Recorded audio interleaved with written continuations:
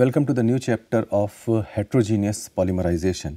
Now usually polymerization process is carried out in two uh, different phases heterogeneous and homogeneous and uh, heterogeneous phase uh, is again very important uh, um, especially with respect to the uh, industrial application. So, in this introductory lecture, uh, we are going to uh, give you some insights of uh, the heterogeneous polymerization process. Uh, in this uh, uh, particular chapter, we will discuss the two broad spectrum of this heterogeneous polymerization process. One is precipitation and another one is suspension. So, um, let us have a, deep insights of uh, this heterogeneous polymerization. It is uh, uh, commonly used to control the thermal and viscosity issue. If you see uh, that both the issues are extremely important in uh, polymerization process and especially uh, when we talk about the viscosity, it plays a very crucial role in determining the further processability of uh, whatever polymer being developed in due course of time. So, uh, when we talk about these uh, heterogeneous polymerization process, uh, so there are three different type of uh, heterogeneous uh, polymerization. one is precipitation, second one is the suspension and emulsion one. So, all three processes uh, all three types of having uh, are having very good industrial uh, usability with respect to the development of various product um, for day to day affair life. Now, this is the broad sketch of or a rough diagram of uh, um, the process of uh, heterogeneous polymerization. Here you have the solution tank in which you are forming the solution with the help of a pump um, it carries out to the particle forming chamber. See initially you may have uh, the substrate maybe have in the form of a homogeneous system, but once it introduced to the particle forming chamber and with the help of uh, um, air inlet or some, some other supporting materials etc. So, um, it may cover into the, the small tiny particles. Now, this uh, decides uh, this particular thing decided by this uh, precipitation suspension or emulsion one. Now, here mm, uh, with the help of this atomizers uh, it creates a small droplets and it suspended to the, the this uh, particular chamber here you are having uh, a heated preheated air is uh, circulated or subjected to this uh, uh particle chamber and a secondary air under the counter current of um, direction is uh, uh, subjected to this one. So, now over the period of time when it forms the particle then it is subjected to the separator. Here you can have um, the air particle separation. Now, the particles are being formed during the course of the pa passage of all uh, throughout this uh, particle forming chamber. And then with the help of this separator the, the exhaust air is uh, usually going out, out and uh, you can collect the product as per your uh, desired level. So, um, usually uh, people may ask that what is the protocol behind this um, polymerization scheme. So, let us begin with the precipitation polymerization. Now, uh, the source of this precipitation polymerization it start as a homogeneous polymerization process, but is easily transformed to the heterogeneous polymerization step or heterogeneous polymer particles like this. During the course of uh, this particular uh, thing, it uh, uh polymerizes over the period of time and then we can discharge like this. Now, this uh, happens when a monomer is uh, polymerized either in bulk or in solution where the polymer produced is insoluble in the reaction media. So, the selection of a reaction media is very much important. Now, the bulk polymerization of vinyl chloride and the solution polymerization of acrylonitrile in water are some of the best example of uh, this uh, precipitation polymerization. Now, this is uh, again um, gives you a, a, a, brief, a, small outlook about to how to carry out this uh, precipitation and uh, uh, polymerization. Now here uh, let us talk about say uh, one um, monomer let us say vinyl chloride monomer with one cross linking my intention is to produce the cross linked polymer. Now here monomer and say cross linker X plus you may have some initiator this can produce uh, the things. Now here several things need to be noticed or several things need to be um, carry out or they require some more attention. Now, since we talk about that initially you, we may have the solution in the form of uh, a homogeneous aspect. So, in that case uh, you are having one monomer, you are having one cross linker, you are having the initiator.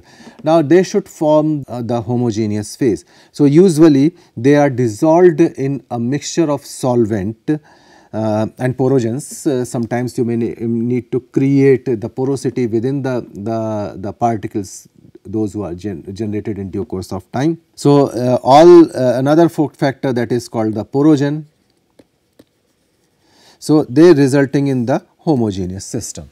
So, uh, the affinity among all, all factors like monomer, uh, crosslinker, initiator and uh, porogen porogen system is uh, essential in this part. Therefore, they you require an affiniating solvent in this structure. The things related to the oligomers and uh, nuclear growth comes into the picture.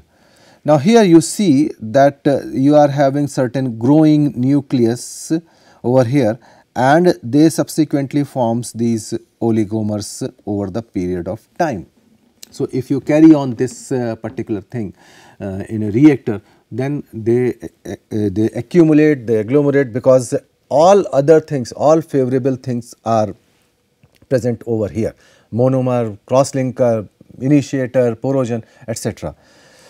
Then uh, there is a need there is a need to form the polymer aggregates or segregates. So, uh, so you form the polymer over the period of time, you give some retention time to this uh, uh, particular uh, um, reaction mass. And then you form this uh, segregates. And these segregates are thus whatever uh, segregates you can remove. So, this is uh, the basic protocol for um, uh, development of uh, these uh, uh, polymers, development of things under the edges of precipitation polymerization. Now, this precipitation polymerization are also referred to as powder or a granular polymerization because the way in which the final polymer products are made. Now, if you see this uh, diagram here you see that uh, these kind of uh, polymer particles because it depends on the level of uh, atomization.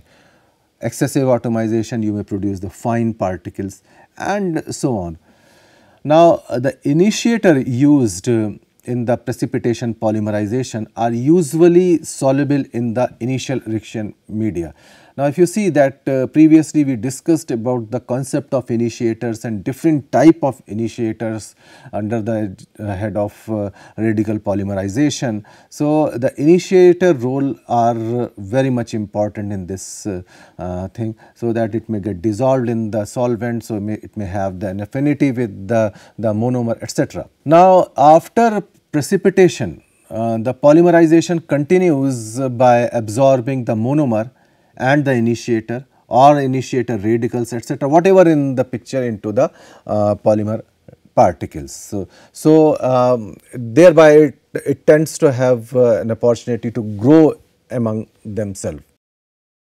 Next is uh, the suspension polymerization. It is a very useful thing to produce uh, the beads or pearl type of uh, particles and these beads uh, are very much popular or very much being useful for the, as a support for various catalyst functional groups as well as they are being used as a support for various ion exchange protocols.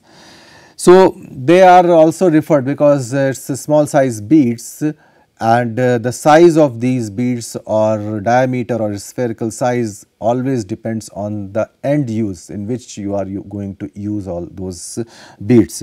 So, because of this particular factor they are also referred as bead or pearl polymerization.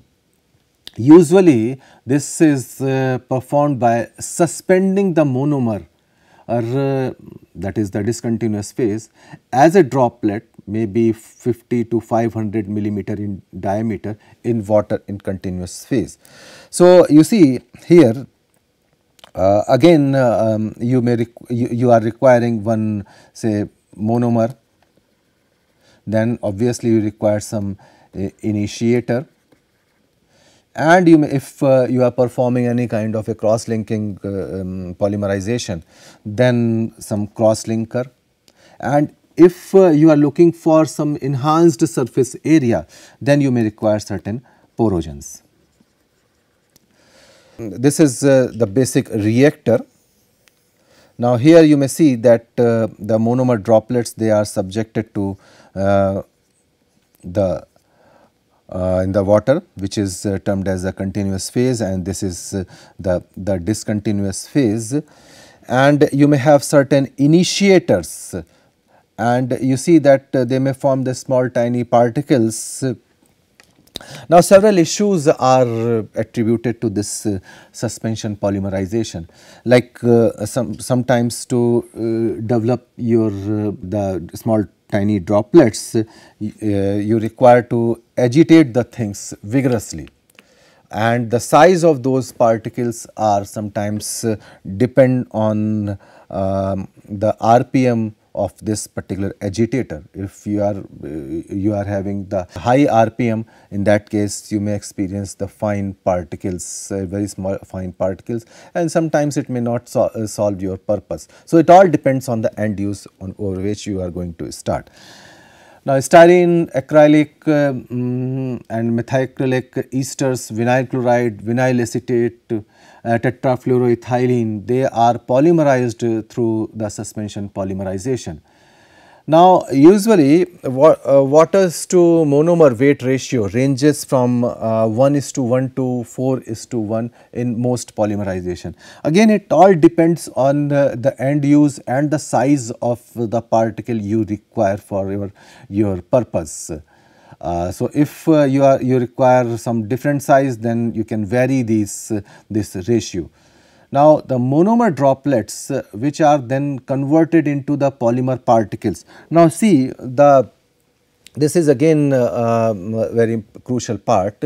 Now, usually these are stopped from by coalescing by friction and the presence of suspension stabilizers uh, sometimes referred as a surfactant or dispersant. Because see uh, these uh, uh, these monomer droplets they they are having the tendency to um, agglomerate or to coalesce each other so that uh, uh, if you are not having this kind of dispersant or a surfactant in, uh, in the reaction mass, then in that case they may form a big lump and entire irrespective of your uh, agitation irrespective of your rotating speed they may form the lumps. And uh, sometimes uh, it may not be feasible to use those lumps for subsequent processes because you are very much uh, uh, requiring the the size uh, of those particles being generated in the suspension polymerization. So this particular thing is again important now, another thing is that uh, once uh, uh, you, you have uh, these droplets being generated or the polymer particles being generated, then obviously you require certain mechanical strength to, to those polymer particles. Now, you can achieve these uh, mechanical strength by changing the various parameters, maybe the rotating speed, maybe you may enhance the temperature so that uh, these, uh, uh, these poly polymer particles may have some mechanical strength. Now, we were talking about uh, the dispersant and surfactant. So, there are two type of uh, stabilizers uh, are, um, are used or dispersant are used. One they are having the water soluble polymers often they in the presence of certain electrolytes or buffers and uh, some others are like water insoluble inorganic compounds. So, uh, they may form a protective coating across the, the generated polymer particles so that they uh, this inhibits the, the, the joining of those generated polymer particles in due course of time. Now, uh, the water soluble type uh, they may include certain uh, the polyvinyl alcohol, uh, sometimes hydroxy uh, cellulose, sodium polystyrene sulfonate, sodium salt of acrylic acid, acrylate esters, uh, copolymers etc. the list of water insoluble type includes the tar, hydroxy compounds, the barium sulfate, kaolin, magnesium carbonate, uh, hydroxide, calcium phosphate, aluminum hydroxides etc and uh, they do not uh, participate in the regular mode of uh, polymerization. So, uh, you can get rid of uh, uh, all these things which are present in the excess by simply washing and drying. Now, certain initiators because we were we are discussing about the importance of initiation. So, certain initiators are also used in the suspension polymerization for the ease of the reaction. Now, these uh, are usually soluble in monomer droplets. So, these uh, initiators are also referred as oil soluble initiator. Now, each monomer droplet uh, in as a suspension polymerization is considered to be the miniature bulk polymerization system so, whatever monomer uh, droplets being formed in due course of time, they are considered as a small or miniature bulk poly, uh, polymerization system. So, the kinetics of a polymerization uh, within each droplet, it is the same as uh, for the subsequent bulk polymerization. So, you can say this it is a small replica of your bulk polymerization process. Now, sometimes you may have certain uh, inverse suspension polymerization. Now, it uh, involves uh, an organic solvent as the continuous phase uh, with the droplets of uh, a water soluble monomer sometimes uh, like example of acrylamide. They are either neat or dissolved in water. There are certain micro suspension polymerization now, these are suspension polymerization in which the size of monomer droplet is about 1 millimeter. So, this these two are again very important type of a suspension polymerization thing. Now, let us talk about the micro suspension polymerization. You see uh, the, the protocol for this uh, micro suspension polymerization or suspension polymerization is uh, very important that uh, usually we may have two different phases. Sometimes uh, you may refer these phases as uh, inorganic phase, sometimes maybe uh, uh, inorganic and organic phase, sometimes like water phase and oil phase. So, let us uh, give the example of say water phase and oil phase.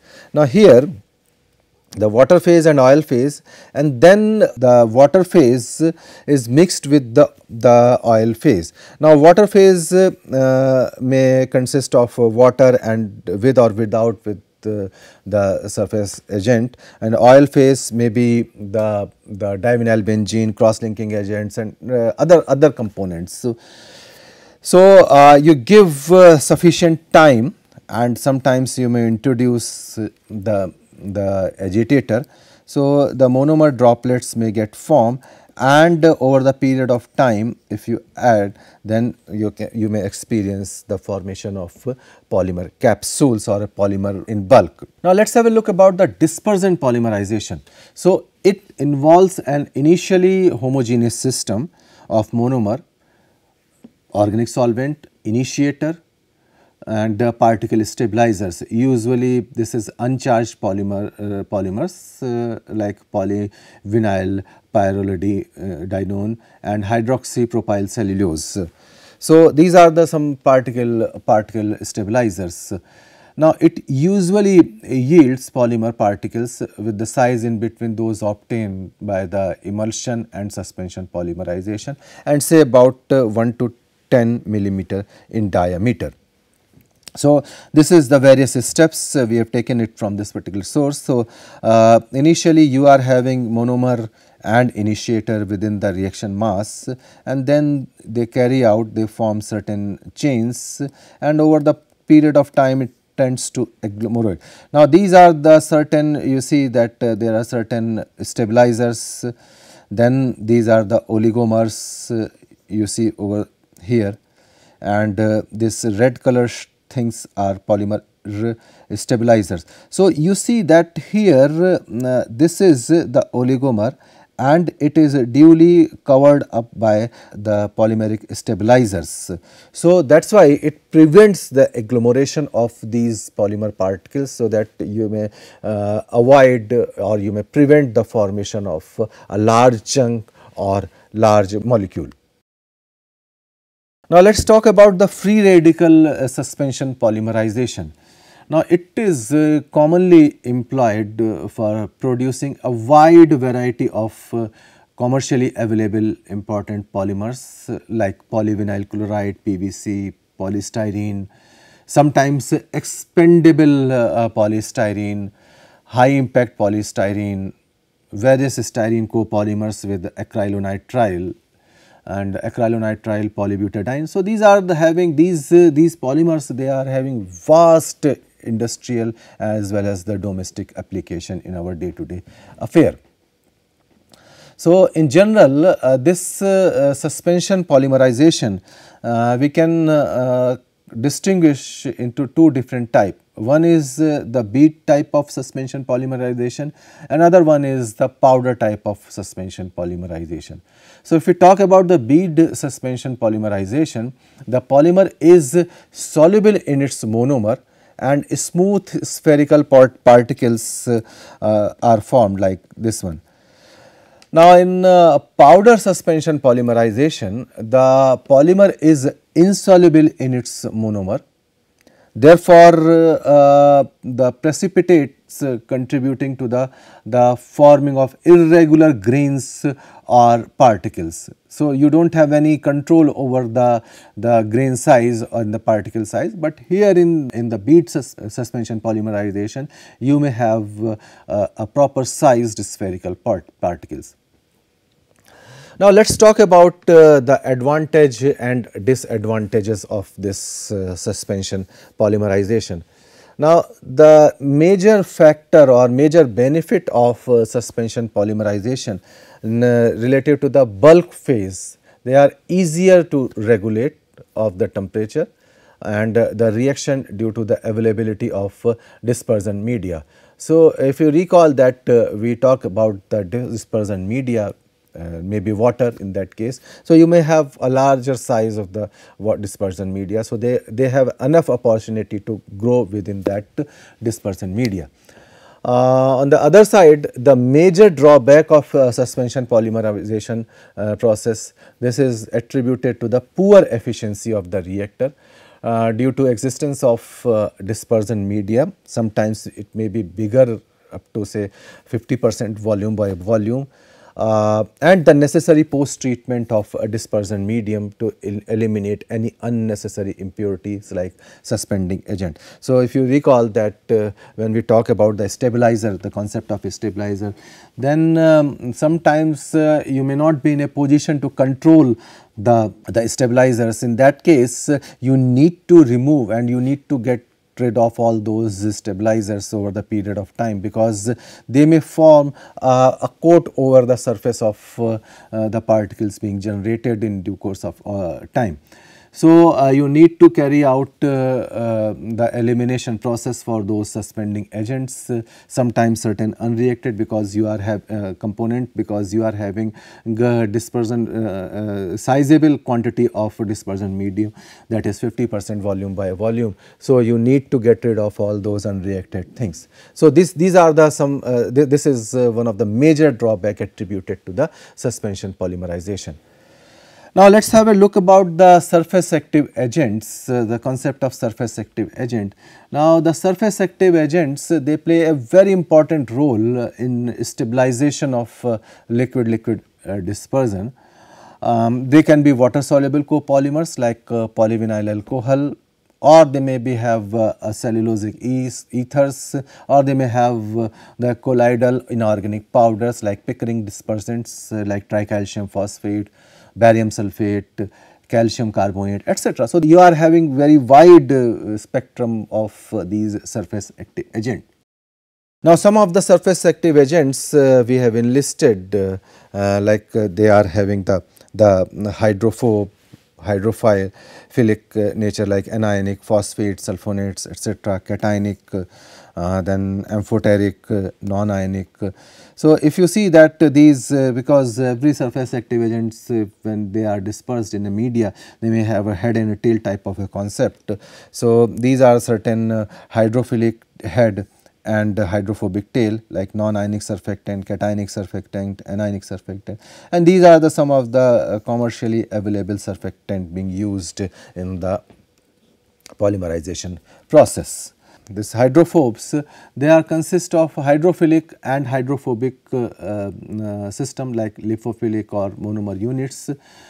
Now, the lipophilic part of uh, the polymer stabilizers they are soluble in organic uh, form while the hydrophilic uh, mm, unit appear to stay in the continuous phase. Now, these stabilizers usually minimize the rate of drop particle coalescence due to the steric repulsive forces. So, uh, what they used to do? They used to deposit over the surface and then they prevent the further agglomeration of those polymeric chain to the surface of uh, the polymer particles being formed in due course of uh, suspension polymerization process. Now, one of the most widely used stabilizer in the suspension polymerization is uh, polyvinyl acetate and um, which has been partly hydrolyzed uh, to polyvinyl alcohol. So, by varying the acetate content that is uh, sometimes referred as uh, hydrolysis, uh, we can alter the hydrophobicity of uh, polyvinyl alcohol and therefore, the conformation and surface activity of polymer chain at the monomer water interface. So, um, you are having better opportunity to alter this thing so that you can have the desired result under the edges of uh, suspension polymerization. Now, the solubility of uh, uh, polyvinyl alcohol in water, it depends on overall degree of uh, polymerization, sometimes uh, attributed to the molecular weight. So, the sequence chain length disturb, distribution of uh, this uh, vinyl alcohol and vinyl acetate units in the copolymer and the degree of hydrolysis and temperature. So, um, as I, uh, I described that agitation rate plays a very vital role. So, depending on the agitation rate, the concentration and the type of surface active agent, the average droplet size can exhibit maybe in the U shape variation with respect to the agitation speed. So, what is this U shape means uh, suppose you are having agitation and all the reaction mass agglomerates. So, you may form this type of structure and sometimes it may get deposited over the wall of uh, your reactor. So, this is again very important thing need to be addressed during the course of uh, this uh, uh, suspension polymerization. You can see that here uh, the role of uh, suspension polymerization, the agitation speed and sometimes mean Sauter diameter. So, you can see that uh, different components or dependency of various steady state uh, uh, mean diameter. So, there is a variation across the time when you change the agitation speed. So, that is why agitation speed plays a very very vital role. Now, let us have a look about uh, the mixing phenomena. Now, it is uh, uh, a very important thing and it has long been uh, known that uh, some of the key factors uh, influencing the particle size density and sometimes referred as uh, PSD in the suspension polymerization reactor. They are the geometry that is purely based on the geometry of the reactor, the form, the size and bottom clearance of the impeller. Now, sometimes people may get confused over the what is the bottom uh, clearance of the impeller. It all depends on the this particular distance that is how much uh, um, it it is having and uh, so sometimes whenever you need to look at the mixing rate or a mixing speed you need to look into that that there are certain formation of stagnant zone within this uh, range so this is uh, the bottom clearance of impeller and sometimes uh, availability of a baffles uh, uh, the amount of energy supplied to the reaction mixture through the rotation of the impeller. So, all these factors determine uh, the flow and energy field in the vessel. Now, to characterize the quality of uh, mixing um, in a suspension polymerization reactor using a single parameter, the average rate of energy dissipation is again play a very vital role sometimes referred as epsilon and it is having the unit of uh, uh, watt kilogram inverse or meter square second uh, to the power minus 3. This should be uh, this uh, particular thing the characterization is uh, should be the preferable one. Now, in, in a turbulent flow area the spontaneous flow of eddies are usually superimposed over the average flow of fluids. So, sometimes uh, if we talk about uh, the turbulent flow field in an agitated vessel, the average energy dissipation rate per unit mass um, may be equal to the power input into the system P which is referred as here, then per unit mass and it is usually given by the bar epsilon equal to P upon rho V, where rho is the density of the fluid and uh, V is uh, the liquid volume, whatever liquid volume being used in the, uh, the, um, the suspension polymerization process. So, in the presence of a dispersed phase uh, in the turbulent intensity decreases. Now, due to this decrease in the vel uh, velocity fluctuations of the continuous phase. So, this particular relation can account for the reduction of uh, the energy dissipation rate in the presence of second dispersed phase in suspension polymerization. Now here nu this uh, nu is the kinematic viscosity and the subscript C and S denotes the continuous and segment phase. Now, in fact, uh, whenever we talk about uh, the, the mixing phenomena, the decrease in the, the rate of energy dissipation per unit mass is attributed to the fact that uh, a fraction of energy uh, content of uh, the eddies is absorbed by interacting with the monomer droplets. So, whatever monomer droplets are there, then certain quantity of uh, energy being absorbed by interacting those droplets. So, in this uh, particular lecture, we discussed the various uh, aspects of suspension polymerization uh, different parameters associated these with this uh, suspension polymerization. Uh, we discussed about uh, the mixing phenomena attributed to this uh, suspension polymerization and what are the, the role of different ingredients in the suspension polymerization protocol. we will continue this particular approach in the next lecture. Thank you very much.